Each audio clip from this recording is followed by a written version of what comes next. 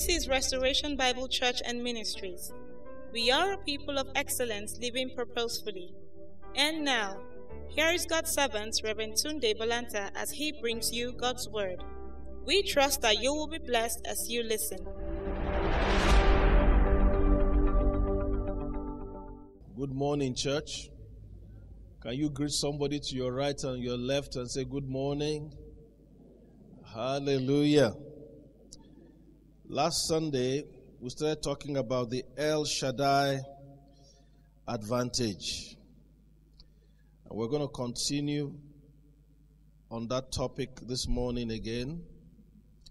The El Shaddai advantage by sacrifice or covenant by sacrifice. Let's go to Genesis 17. Um, that's where we took the reading from. 17 from verse 1. And when Abram was 90 years old and nine, the Lord appeared to Abram and said unto him, I am the Almighty God. Walk before me and be thou perfect. And I will make my covenant between me and thee, and will multiply thee exceedingly. And Abraham fell on his face, and God talked with him, saying, As for me, behold, my covenant is with thee, and thou shalt be a father of many nations. Neither shall thy name any more be called Abraham, but thy name shall be Abraham, for a father of many nations have I made thee even before he became a father of many nations, God called him that. That word Almighty means El Shaddai, the all sufficient one, the all breasted one, the one who is more than enough. For us New Testament believers, you see, Abraham had a covenant with God, and the children of Israel benefited, even though they were not there. Because in the book of Exodus, when they began to cry to God, God said he remembered his covenant with Abraham. Exodus 2.24. They were not there when the covenant was made. But God remembered them. For you and I, the Lord Jesus also cut a covenant for us. Amen. Even though you maybe you were not there when it was done, we were not there when it was done. But that covenant has given us an advantage. And one of the thoughts this morning we want to look at is that the sacrifice of Jesus on the cross has credited into your account the El Shaddai advantage. The sacrifice of Jesus on the cross has credited into your account the El Shaddai advantage. The all sufficient one, by the agreement that Jesus made, by his death on the cross, by paying for our sins, becoming sin for us, by becoming a curse for us, by absorbing everything that was wrong, by paying that price on the cross of Calvary, he cut a covenant with the Father, and the benefit has come into your account this morning. Is there an amen in the house of the Lord today? The children of Israel were not there when God and Abraham cut that covenant. But when they were in Egypt and they were crying, God said, I remember that I, I had a blood covenant with this man, Abraham. And when there's a blood covenant, you are saying, I'm ready to die. I'm ready to lay down my life, if necessary, to keep my word. And we, find many examples in the Bible. How did David kill Goliath? He said, This uncircumcised Philistine. Because remember in Genesis 17, God told Abraham, You will circumcise yourself as a sign of the covenant. Child of God, your own heart has been circumcised when you gave your life to Jesus as a sign of the covenant. And every time a child of God is, is in, in a challenging situation, you can remind God of the covenant. You can remind yourself of the covenant. You can say, I have a, I'm a covenant child of the living God. Blood has been shed in my behalf. Jesus has paid the price for me. Remember Mephibosheth in 2 Samuel 9, Mephibosheth, you know, enjoy the covenant between David and Jonathan, though Jonathan was dead and gone. But because of the relationship, because he belonged to that lineage, David had mercy. I want to say to a child of God this morning, I don't care what's happening all around you. A thousand may be falling and 10,000 on the other side. I want to say to you this morning, you have a covenant advantage over your life. The blood that Jesus shed on that cross, it, it, was, it was what sealed the covenant. Blood has been shed in your name. And because of that blood this morning, you will go through this year, no matter what is happening through this year. He said, I've been young and I'm old. I've never seen the righteous forsaking, nor his seed begging bread. I'm here to announce to you that your family will not beg bread to eat. You will have more than enough because he said, I do exceedingly, abundantly above all you can ask or think this morning. Child of God, you have a covenant advantage this morning because of the Lord Jesus. When Ruth married Boaz, what happened? She came into an inheritance she didn't work for. I want to say to you, child of God, you have come into an inheritance you didn't work for. Mephibosheth didn't have to do anything. He just had to be in that family. Whatever is happening to you, I want you to know that you have a new identity. You have a new passport with the blood of Jesus. Everything in the divine economy of the blood of Jesus. The Bible says in Romans 8:32, he that did not spare his own son, how shall he not with him freely give us all things? Yes, it may happen here to somebody you know. It may happen there to somebody you know. Things may not work in that person's business. Things may not work in the other person's business. But I want to say to you, because of that covenant relationship, that Jesus Christ shed his own blood for you and his blood is the seal of this covenant. I announce to you, you will walk through the valley of the shadow of death, but you will fear no evil. I announce to you, child of God, you will, you will, you will excel this year. God will fill your mouth with laughter. You will open your mouth and God will fill it. God will make you an exception to evil. When evil sees you, it will pass over you. Do I have a witness in the house of the Lord today? It may be happening all around you. It may be happening all around you, but there's a bloodline there that the enemy could not cross. He said, When I see the blood, I will pass over you. The blood of Jesus is a sign upon your life, it's a token upon your life. Wherever that blood has been put, I don't care what the enemy does, it's going to pass over you, it's going to pass over your children, it's going to pass over your family. I don't care what is happening all around you, the blood is speaking for somebody in this house. And because the blood of Almighty is speaking for you. Favor has come to rest in your house. Increase has come to rest in your house. Promotion has come to rest in your house. You are going to rise higher and higher as those that come to Zion. Where there's a casting down, there shall be a lifting up over your head because you belong to him. Paul said, The angel of the Lord, whose I am and whom I serve. You are God's property. And I want to announce to you there's no trespassing. Because you belong to God, they will not trespass over your property. They will not trespass over your project. You will rise higher and higher like the eagle that you are. There is no falling down for you. There's only rising up for you. If you're a believer, give the Lord a loud shout of amen in the house of the Lord this morning. He says, if you fail in the time of adversity, he says, because your strength is small. Our strength is not small. Our strength is not in ourselves. David told Goliath, he said, You may be as tall as Kilimanjaro, and I may be just a little bitty guy, but because of the covenant that I carry, I'm going to take you down. I don't know what is coming against you. It may look like an almighty Goliath, and you feel like a little person, but I want to say, because of the person backing you, because of the person backing you, because of the person backing you.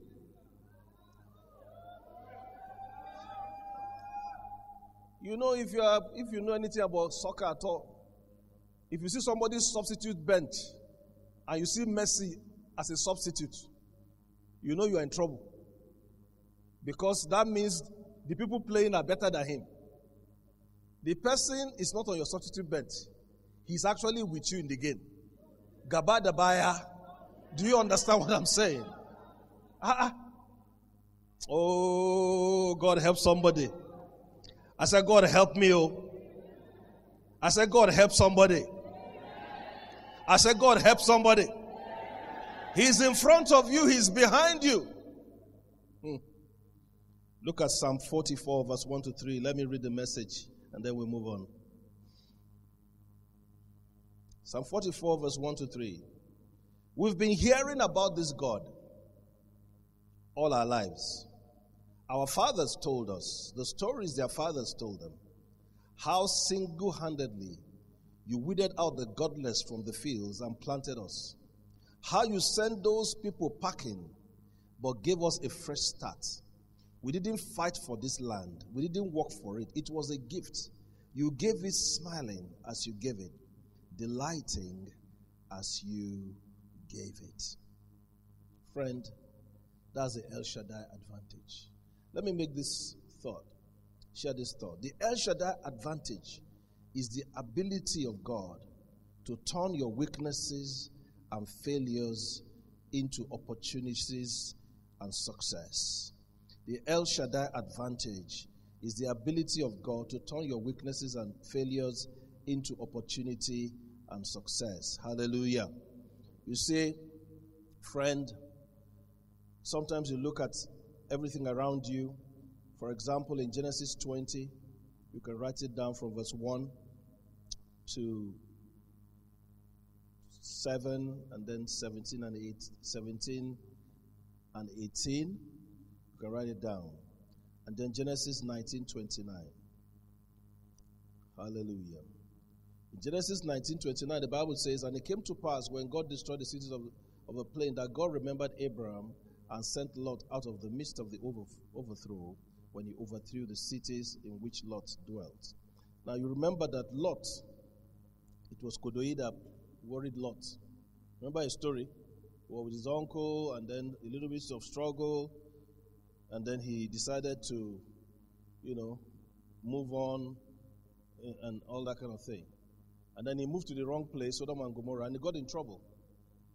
And the Bible says when God was going to destroy that place, he remembered Abraham and delivered Lot. I know in your family they think you are a nobody. But on your account is why many of them are still alive. God will say, Ah, but that, for that boy Timothy, for that boy Igwe, I cannot allow this to happen. For that small boy John, I cannot allow this to happen. Please put your name if you know you are born again. He said he remembered Abraham and said, No, no, no, no, no, no, no. I have a covenant relationship with this guy. There's no way I will allow his nephew to go like that. I want to say, because of you, your family shall be delivered this morning. He said he remembered Abraham. He said, God is a covenant keeping God. He said, ah, ah, ah, ah, because of Abraham, this cannot happen. Another time, Abraham himself lied to Abimelech. Said, The woman is my sister. And they took the wife in. He lied. You can call it a white lie, a green lie, a yellow lie. A lie is a lie. The man lied. The father of faith failed. Okay? I know that is a shock to some of you. But it shows his humanity. But your humanity is not what determines the covenant. God is aware of your humanity. But the covenant is based on his divinity. So when your humanity fails, the divinity kicks in. The man lied, and I'm sure he did all night prayer. Hey, God, oh, Sarah, oh, Sarah, oh, Sarah, oh, Father, deliver, oh. God went to Abimelech by night and said, You are a dead man. What is Sarah doing in your house? Don't you know? He said, It is the man himself who told me that it's his sister. He said, That's why I did not let you touch her. There are certain people you don't touch for anyhow. Children of God. Sometimes some people have problems in their life, they don't even know why they have that problem. Because they've touched what is not supposed to be touched. It doesn't have to be a pastor. Even you, you are anointed because you are carrying the Holy Spirit. He said, Touch not my anointed and do my prophets no harm. You know, you are also anointed with the Holy Spirit. You know, He dwells within you. He said, Whoever destroys the temple of God, him also shall God destroy. When people begin to tamper with it, maybe in an office, person say, I will show you. Don't do anything, just report to heaven. Say, Father, this man say we show your daughter. Hallelujah. Have you seen some of these um, shows they do? Maybe the, the owner of the company will come in and pretend he's a worker. Huh? Maybe go to one branch maybe they don't know him in another city. He will just go and disguise. And the manager there will be swelling. The person swelling for you doesn't know that your father owns that company. Your heavenly father owns everything. All the gas in the world, all the energy in the world, all the silver, all the diamond, Everything is owned by our Father in heaven. He said, For Zion's sake, I will not hold my peace. Child of God, I'm here to tell you this morning that even with all the mistakes Abraham made, even Ishmael, God said, Abraham, I did not tell you to produce Ishmael, but you have produced Ishmael. I will still bless Ishmael because it is you that produced Ishmael. I don't know who I'm here to talk to, but your mistake cannot destroy what God has written concerning you. I am telling you, you are going to arise out of that thing. You are going to be the champion that God has called you to be. I'll say, my background, this one did not work. That I say, you are coming out of that situation because you have got God in your corner. I say, you are coming out of that situation because you have got God in your corner. He said, Rejoice not over me, my enemy. If I fall, I shall arise. I don't know where you are falling, but I'm here to call you that it is the season for you to arise. I say it is the season for you to arise. It is the season for you to arise. You shall arise in this season. You will come into the fullness of your destiny. The God of heaven will surprise you. Anything not working in your life, God is going to turn it around. I say, God is going to turn it around. He's going to give you a break breakthrough. He's going to give you a time of praise in your life that you have never seen before. Is there a witness in the house of the Lord today?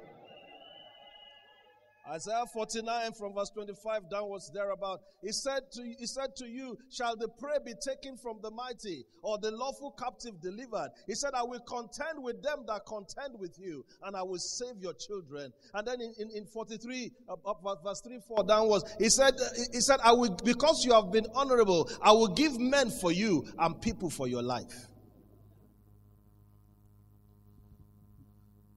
Touch not my anointed. That is you, God is talking about right now. Hallelujah to Jesus. So, because you've been honorable, I will give men for you. Isaiah 43, verse 4, and then Isaiah 49, 24, and 25 is where I just quoted now. Now, let's go to another very important point. A blood covenant cannot be effective without sacrifice death. There's a lot in there, but let's try to dissect it. Hebrews 9 16 and 17. For where a testament or a covenant is, there must also of necessity be the death of the testator. For a testament is of force after men are dead, otherwise it is of no strength at all while the testator liveth. If you look at all the blood covenant, what is saying here, for example, is that if your father made a will and your name is in the will, you cannot take anything until the man dies. So go and work hard. Don't pray for him to die. Hallelujah. Okay? So, but you see, a covenant itself, every covenant that God made, the examples we see in the Bible, you will find that death was involved. In Genesis 15, uh, verse 8, I believe I, we looked at this last time. God told Abraham, um, 15 verse 8 to 18, he told Abraham to take some animals and cut them. And he, he told Abraham, you know, they will take large animals and cut them in pieces by the spine and separate them, and the blood will drip on a pathway. And you will you that cut the covenant will walk through that blood. What are you saying? As these animals have died, I'm also ready to die if necessary. Imagine a marriage proposal where the guy said, Where, where you are buried, I'll be buried. You know that you know he wants to marry you for real. Hmm? This is for, for life. Okay? As these animals are cut in pieces, I'm ready to be cut in pieces. And the interesting thing we saw the other time was that in verse 17 of Genesis 15, and it came to pass that when the sun went down and it was dark, behold, a smoking furnace and a burning lamp that passed between those pieces, signifying the presence of God. Those burning lamps we see in the book of Revelation at the throne of God. It shows that the Holy Spirit or the presence of God or God Himself walked through that animal sacrifice. That means God was saying, I'm also ready to give my life for this thing. A blood covenant involves the preparedness to give your life. The Passover was a, a partial reenactment of the blood covenant because remember, Jesus gave us another Passover before he left. which was covenant based.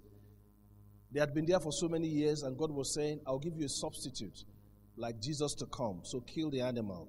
Always blood involved. Even Abraham had to circumcise himself, blood had to be involved. So it's going to cost something for anybody to make a covenant. Are you with me? It cost God his son to make a covenant.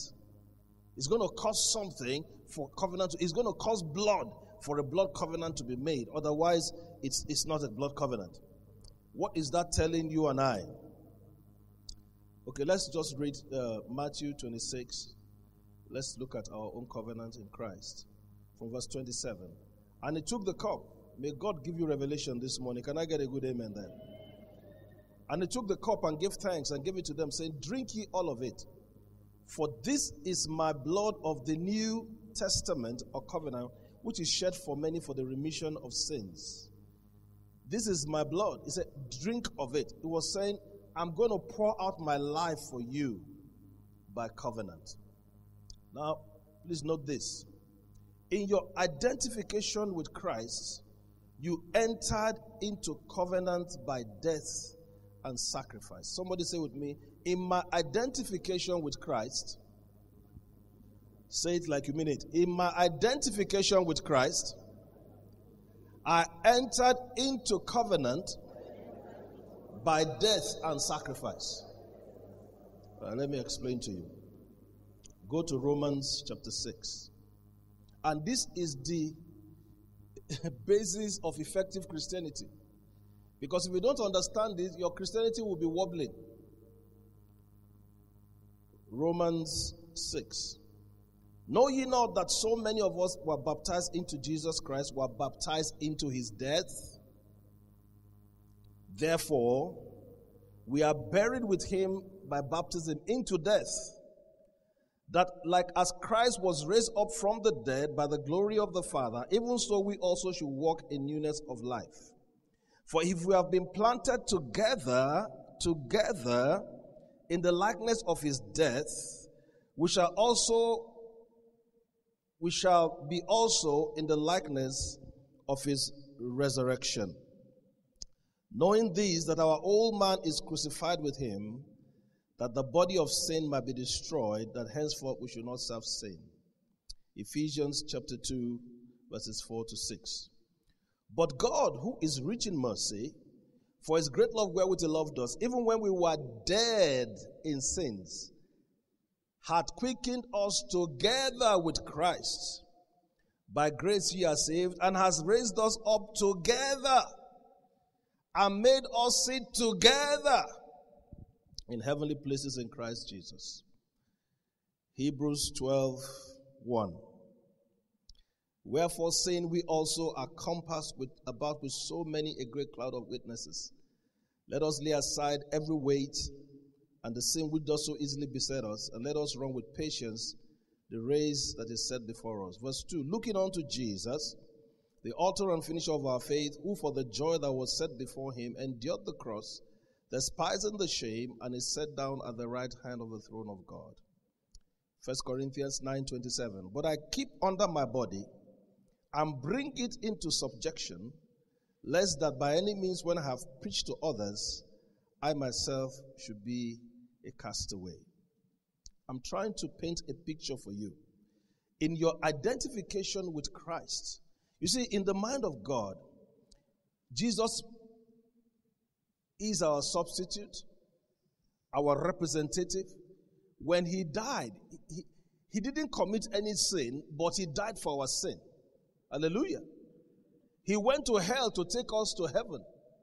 He became what we were to become what he is now. So we were buried with him. And that's what happened in water baptism. They take you down and they bring you up. You died with him. The old man is dead. Hallelujah. Now listen, listen to me, friends. You will notice something.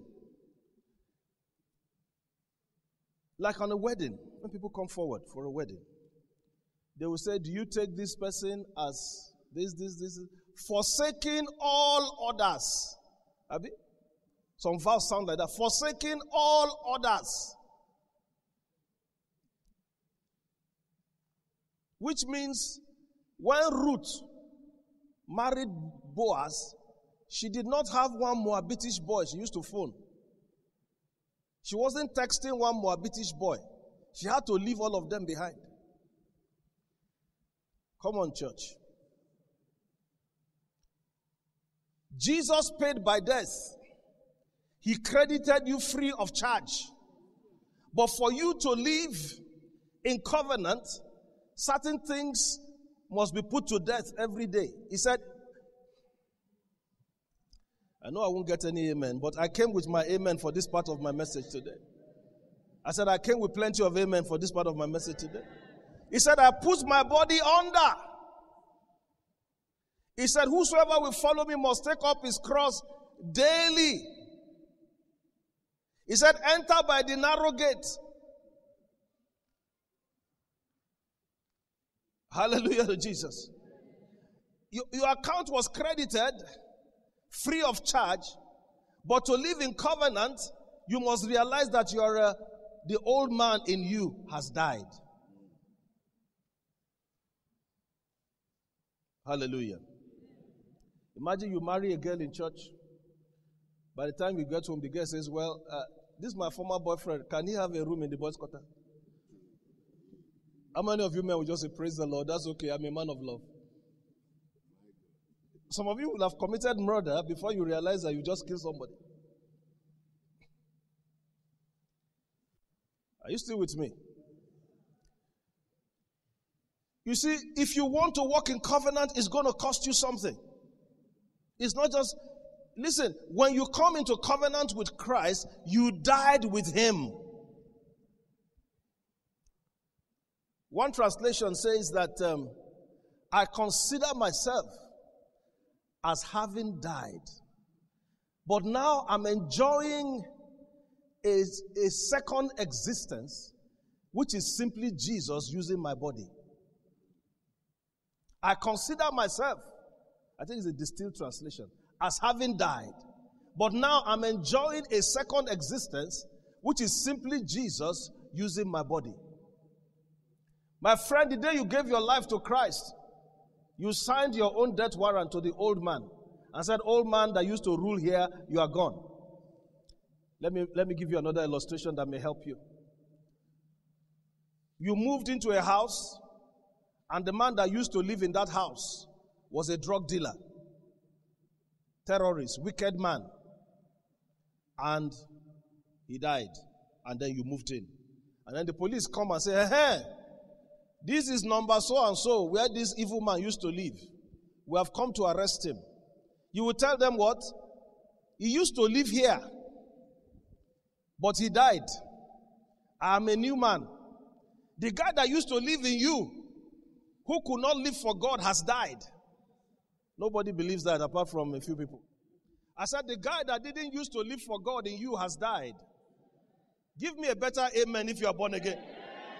And if you are still thinking about being born again, get born again. I said the old man in you has died. There's a new man in you who can live in righteousness and holiness before God.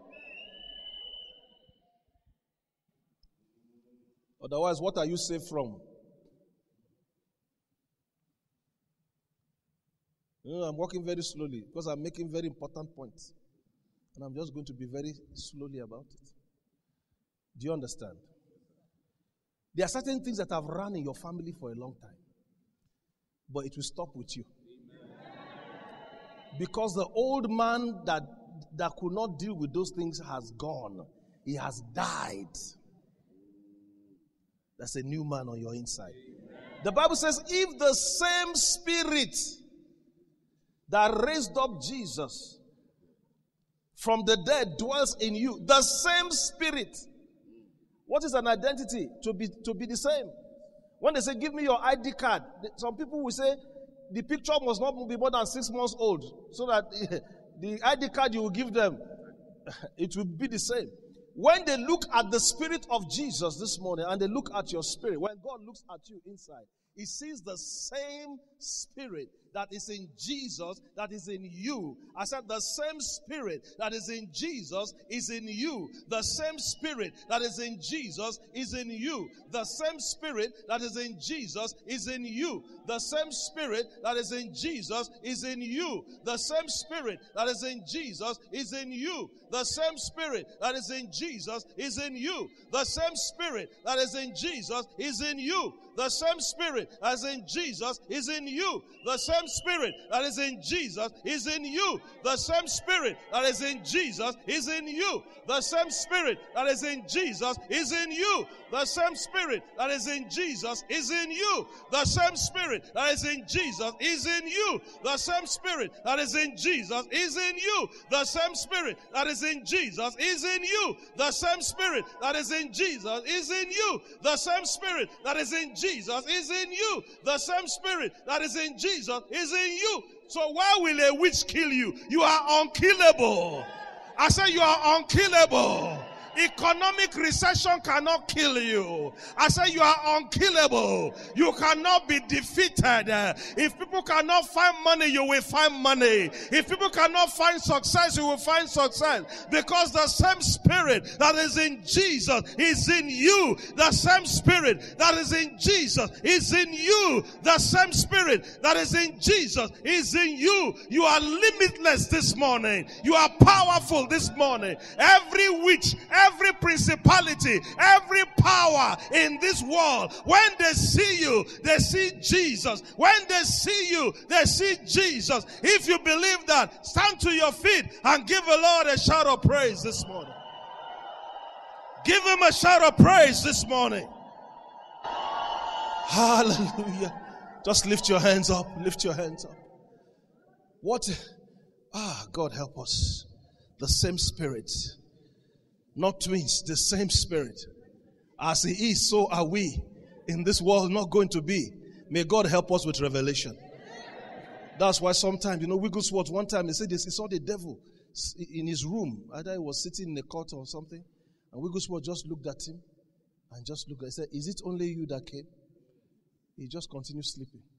He didn't even pray, he didn't bind. Because the same spirit that is in Jesus. You see, that thing, when it hits you, when it hits you inside, you start talking. People say, What is wrong with this girl? Well, somebody would say, Look, I'm going to show you. you say, eh? You want to show Jesus? You know, somebody was trying to rape one girl. And the, the man said, I'm going to kill you.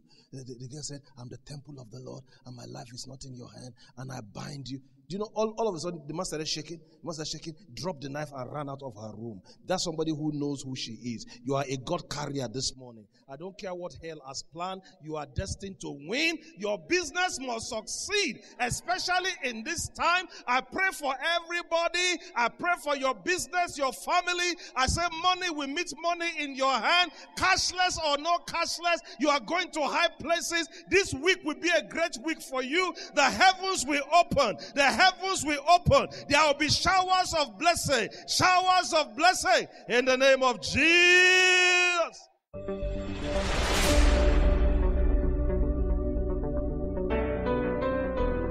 Thank you for listening to today's message.